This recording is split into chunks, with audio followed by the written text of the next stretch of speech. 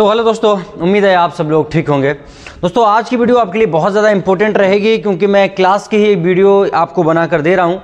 और इसमें मैं बताऊँगा आपको सप्लाइयों के बारे में सेकेंडरी प्राइमरी के बारे में और शॉर्टिंग के बारे में। जो फ़ोन में हाफ़ शॉर्टिंग या फुल शॉर्टिंग आ रही है, उसको किस तरह से हम फाइंड आउट करेंगे, किस तरह से निकालेंगे। ठीक है? तो शुरू करते हैं वीडियो। वीडियो शुरू करने से पहले आपके लिए मैसेज है। न्यू बैच के लिए एडमिशन शुरू है। अभी अपनी सीट बुक करिएगा और एडवांस मोबाइल रिपेयरिंग कोर्स करने के लिए हमसे कॉन्टैक्ट करिए। ठीक है? तो शुरू करते हैं वीडियो को। देखिए, आपके फ़ोन में यही आईसियाँ होती हैं। एक चार्जिंग आईसी जिसको पीएमआई या DC to DC convert IC ठीक है या, या मिनी पावर कहा जाता है ठीक है एक आईसी दूसरी आईसी आपकी पीएमयू ठीक है power management unit power IC ठीक है।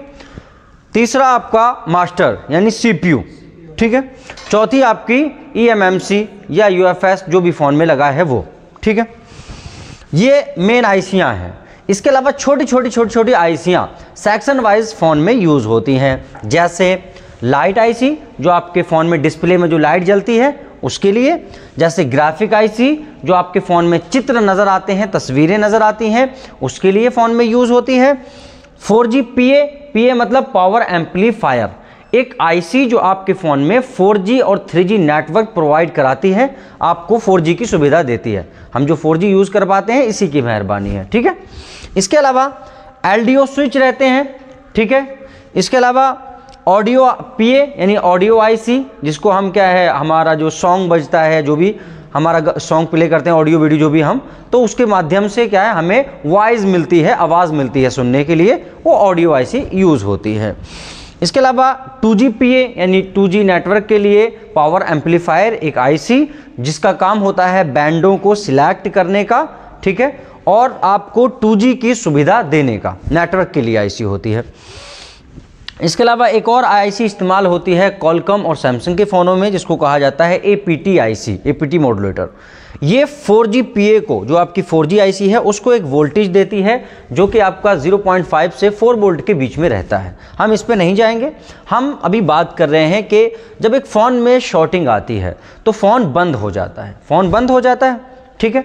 तो आपको कैसे पता करना है कि शॉर्टिंग सेकेंडरी लाइनों में है या प्राइमरी लाइनों में है? ठीक है? प्राइमरी में है या सेकेंडरी में है?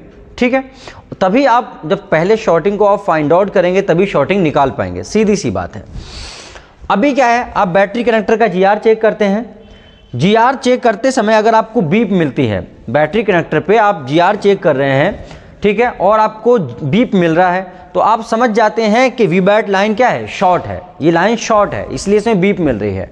लेकिन अगर जी आर तीन से कम मिलता है तो आप समझ जाते हैं कि इसमें हाफ़ शॉर्टिंग है। भाई, ज़ाहिर सी बात है 350 से कम जी आर है तो हाफ़ शॉर्टिंग समझेंगे कि नहीं? तो अभी हमने चेक किया, हम समझ गए। बराबर? अभी क्या है? इसी तरह से आपकी वी बस लाइन जो चार्जिंग जैक से निकल के चार्जिंग आईसी से कनेक्ट रहती है। ठीक?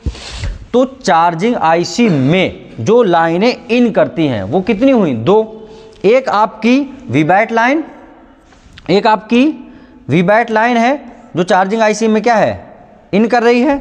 ठीक है? ये आपकी इन कर रही है। एक लाइन ये हो गई वीबैट दूसरी आपकी वी बस दो लाइनें हुई।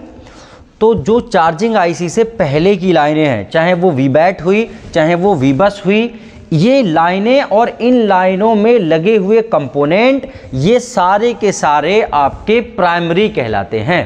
क्या कहलाते हैं? प्राइमरी कहलाते हैं, ठीक है? अब चार्जिंग आईसी से आउटपुट में आप सब जानते हैं, जब चार्जिंग आईसी को वी बैट मिल जाए या वी बस मिल जाए, यानी चार्जिंग का वोल्टेज फ़ौरन ये ऑन हो जाती है और फ़ौरन ये क्या बनाती है? वीपीएच क्या बनाती है चार्जिंग आईसी? वीपीएच तो ये वीपीएच वोल्टेज बनाएगी, जो कि यहाँ पे एक वीपीएच की कॉयल लगी होती है, इस पर होता हुआ पावर में चला जाएगा। सिंपल और इसके अलावा यहीं से ये सारी आईसीयू में आएगा। लाइट आईसी है आपकी, ठीक ग्राफिक आईसी है, इसी तरह से ये नीचे आएगा। 4G PA है, इसी तरह से आपका एल डी स्मार्ट स्विच जो भी लगे होंगे, ठीक है? इसी तरह से आपका ऑडियो पी है, इसी तरह से आपकी क्या है? 2G PA है, या फिर आपकी ए पी है। समझ रहे हैं ना? ये कौन फैल रहा है वायरस की तरह सब में? वीपीएच क्या फैल रहा है? वीपीएच जो कितना रहता है वीपीएच 4.2 अगर फॉर एग्जांपल अगर ये लाइन या इस लाइन में लगा हुआ कोई भी कैपेसिटर जो पैरल में लगे होते हैं ना, अगर शॉर्ट हो जाता है, मान लीजिए अगर यहाँ से एक कंपोनेंट शॉर्ट हो गया तो ये शॉर्टिंग पूरे फ़ोन में दिखाई देगी। पूरे फ़ोन में, क्योंकि हर जगह जा रही है वीपीएच भाई जहाँ जहाँ भी वीपीएच जाएगी, वहाँ वहाँ शॉर्टिंग मिलेगी। क्योंकि एक भी कंपोनेंट शॉर्ट होने का मतलब है, हर जगह पे शॉर्टिंग मिलेगी जहाँ पे ये लाइन जा रही है। अब ये लाइन तो इतनी सारी आईसीयू में जा रही है। यानी कि अगर सीपीयू और एम को छोड़ दें तो हर जगह जा रही है। सीपीयू और एम को छोड़ दें तो ये लाइन वीपीएच लाइन हर जगह जा रही है। समझ रहे हैं ना? आपकी चाहे लाइट आईसी हुई ग्राफिक हुई, तमाम आईसी अब फ़ोन में, पूरे सेक्शन फैले रहते हैं नहीं, सब में जा रही है। तो हर जगह पे ये शॉर्टिंग मिलेगी आपको देखने के लिए, हर जगह बीप मिलेगा अगर फुल है तो।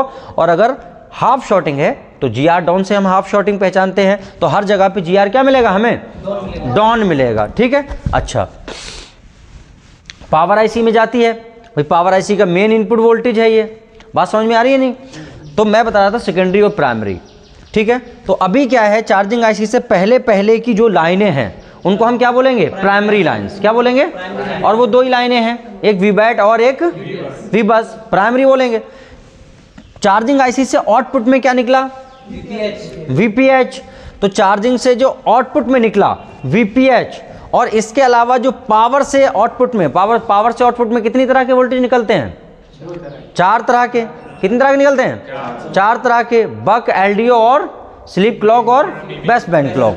ठीक तो ये चारों तरह के वोल्टेज जो ये पावर से आउटपुट में निकल रहे हैं, ये पावर का आउटपुट और चार्जिंग आईसी का आउटपुट। ठीक है? ये सारा का सारा क्या कहलाएगा? सेकेंडरी क्या कहलाएगा? सेकेंडरी कुछ लोग इसी को फ़र्स्ट सेकेंडरी और थर्ड सेकेंडरी भी कहते हैं, लेकिन असल में ये सारा का सारा क्या है? सेकेंडरी है। क्या है? सेकेंडरी है। तो चार्जिंग आईसी से पहले की जो लाइनें हैं, वो क्या कहलाएँगी? प्राइमरी और चार्जिंग आईसी से आउटपुट में जो कुछ भी है, वो सारा सेकेंडरी तो प्राइमरी सेकेंडरी की बात समझ में आ गई। ठीक है? पैरल और सीरीज़ तो आपने पहले ही पढ़ लिया है। सही है? अच्छा। अभी अभी, अगर वीपीएच लाइन में जीआर डाउन आ रहा है, क्या डाउन आ रहा है? अभी फॉर एग्जांपल पावर के पास में इस तरह से, इस तरह से कैपेसिटर लगे रहते हैं, इस तरह से लगे रहते हैं ना पैरल में। इस तरह से एक साइड पावर से कनेक्ट होते हैं, बहुत सारे लगे रहते हैं ना लाइन लाइन में। इस तरह से आपको देखने मिलते हैं। हैं? पावर आईसी के पास में। अभी हमने क्या है, यहाँ पे जीआर चेक किया। यहाँ पे जीआर चेक किया। अभी हमारा जीआर आ रहा है डाउन 350 से प्लस में मिलना चाहिए। मिलना चाहिए कि नहीं भाई? मिलना चाहिए। तो अभी क्या है, यहाँ पे जी आर डाउन आ रहा है। तो जी आर डाउन आ रहा है तो इसका मतलब क्या है? फ़ोन में क्या चीज़ है? हाफ़ शॉर्टिंग है माइनर शॉर्टिंग है। अभी ये शॉर्टिंग को निकालना कैसे है? ठीक है? अभी ये शॉर्टिंग सेकेंडरी लाइनों में या प्राइमरी लाइन में है? सेकेंडरी लाइन में है। ठीक? अभी सेकेंडरी लाइन की शॉर्टिंग निकालनी कैसे है? मेन चीज़ ये है। तो चाहे वो कोई सी भी लाइन हुई, चाहे वो बक लाइन हुई या वीपीएच लाइन हुई, कोई सी भी लाइन हुई, अगर उसमें शॉर्टिंग है तो हर जगह शॉर्टिंग आएगी। जहाँ जहाँ वो लाइन गई होगी, एक भी कैपेसिटर अगर शॉर्ट हो जाता है इस लाइन का तो पूरी लाइन जहाँ भी गई है, हर जगह शॉर्टिंग नज़र आएगी। बराबर? अभी क्या करना है? अभी हम ढूंढेंगे कोई ऐसा कंपोनेंट जो सीरीज़ में लगा हो। कहाँ लगा हो? सीरीज़ में। उसको सीरीज़ का कंपोनेंट अगर हम बाहर निकाल देते हैं तो लाइन क्या हो जाएगी? ओपन हो जाएगी। लाइन कट जाएगी। कट जाएगी। अभी क्या है? ये कॉयल कहाँ पे लगी है? सीरीज़ में। तो अभी हमारे पास में लिखी जा रही है। इसमें हाफ़ शॉर्टिंग है। फ़ोन डेड पड़ा हुआ है। हमने चेक किया वीपीएच का जीआर डाउन है। तो इसका मतलब क्या है? हाफ़ शॉर्टिंग है। तो अभी क्या है? हमने ये वीपीएच की कॉयल को बाहर निकालना है। लाइन काटने के लिए। अभी हमने इसको बाहर निकाल दिया। बाहर निकाल दिया।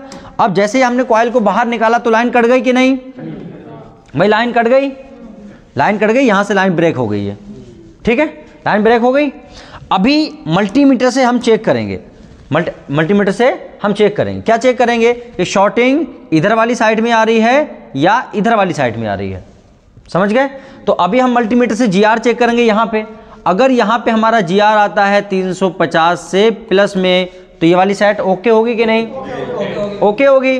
तो फिर इधर डाउन आएगा जीआर अभी इधर डाउन आएगा जी आर मान ली इधर हमने चेक किया तो इधर जी आर आ रहा है हमारा 200 कितना आ रहा है? 200 तो क्या पता लगा कि काम चार्जिंग आईसी की तरफ़ नहीं करना है, बल्कि किधर करना है? पावर आईसी की तरफ़। अभी पावर आईसी की तरफ़ तो बहुत सारी आईसियाँ हैं। जैसे पावर आईसी है, जैसे लाइट आईसी है। समझ रहे हैं? ये सारी आईसियाँ हैं। इन सारी आईसीयों में लगे हुए कंपोनेंट हैं। कैपेसिटर वगैरह काफ़ी मात्रा में लगे रहते हैं। पूरे फ़ोन में ही फैली हुई तो अभी क्या है? ये पूरे फ़ोन में जो शॉर्टिंग फैली हुई है इसको हमें निकालना पड़ेगा। क्योंकि अभी क्या है, इधर जी आर डाउन होता, इधर अगर ओके होता जी आर तो इसका मतलब इधर सही है। तो इधर खाली चार्जिंग आईसी ही है, और एक आध दो कैपेसिटर रहेंगे तो इधर तो आसान रहता। लेकिन अभी इधर समय लगेगा। क्यों? क्योंकि इधर बहुत सारे कंपोनेंट हैं। बहुत सारे कंपोनेंट हैं। तो अभी पहला तरीका क्या है? अभी क्या है, हम पूरे बोर्ड में सीपीयू एमएमसी को छोड़ देंगे, बस। बाकी पूरे बोर्ड में रोजिन का धुआँ लगाएँगे। क्या लगाएँगे? रोजिन का धुआँ लगाएँगे। रोजिन का धुआँ लगाने के बाद में हम डीसी मशीन से, डीसी मशीन से, ठीक है? कितना वोल्टेज चलता है इस लाइन पे? 4.2 चलता है ज़्यादा से ज़्यादा। तो इस पे हम कितना डालेंगे? 4.2 कितना डालेंगे? 4.2 ठीक है? 4.2 वोल्ट। ठीक है? और 3 एम्पियर। क्या डालेंगे? 3 एम्पियर। समझ रहे हैं? अब हम ऐसा क्यों कर रहे हैं? हो सकता है कोई फुल शॉट हो, आसानी से निकल जाए। लेकिन अगर थ्री से काम नहीं चला तो इसको हम कितना बना देंगे? फाइव एम्पियर कितना बना देंगे? फाइव वोल्टेज इतने ही रखेंगे। वोल्टेज इतने ही रखेंगे। बात आई ना समझ में? क्योंकि एम्पियर तो हम बढ़ा के दे सकते हैं, लेकिन वोल्टेज नहीं बढ़ा सकते। वोल्टेज नहीं बढ़ा सकते। अगर वोल्टेज बढ़ाए तो क्या होगा? पावर खत्म। क्या हो जाएगी? पावर खत्म। शॉर्ट हो जाएगी फ़ौरन तो अभी वोल्टेज नहीं बढ़ा सकते। एक बात याद रखिएगा। जितने वोल्टेज की लाइन शॉर्ट है उतने ही वोल्टेज हमेशा देने हैं। वोल्टेज कितने देने हैं? हमेशा उतने ही वोल्टेज। इसलिए कहा जाता है सेम वोल्टेज हमेशा देने हैं। सेम वोल्टेज का मतलब है कि अगर 1.8 वोल्टेज की लाइन शॉर्ट है तो डीसी से 1.8 वोल्टेज ही देना है। समझ रहे हैं?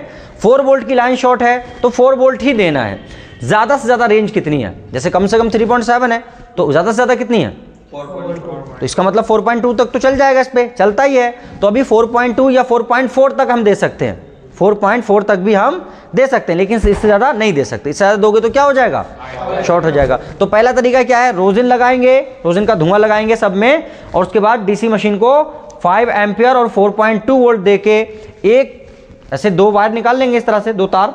और एक को ग्राउंड कर देंगे मदरबोर्ड में कहीं भी कहीं भी एक तार को डीसी जो निकालेंगे, और एक को यहाँ पे ऐसे करके टच करेंगे, ऐसे।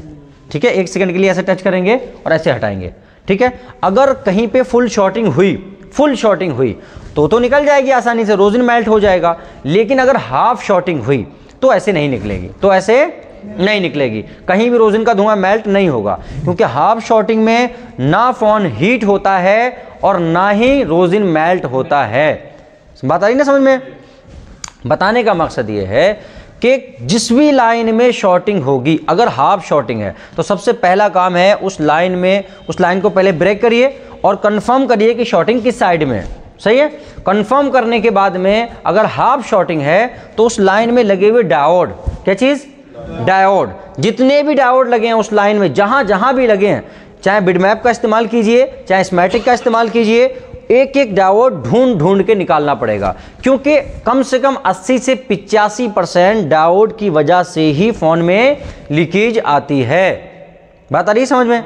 बात आ रही है समझ में? हाँ ये बात याद रखिएगा ठीक है? तो अभी क्या है आप लोगों से मैं कहना चाहूँगा क्लास तो चलती रहेगी बहुत लंबी वीडियो हो जाएगी इसमें सारे तरीके बताए जाएँगे। तो वीडियो हम यहीं पे एंड कर रहे हैं आप लोगों के लिए। और आपसे लास्ट एंड फाइनली कहना चाहूँगा कि जल्द से जल्द अपनी सीट बुक कराइएगा। और एडवांस मोबाइल रिपेयरिंग कोर्स के लिए खुद को अपडेट कीजिएगा। अभी हमसे कॉल कीजिए।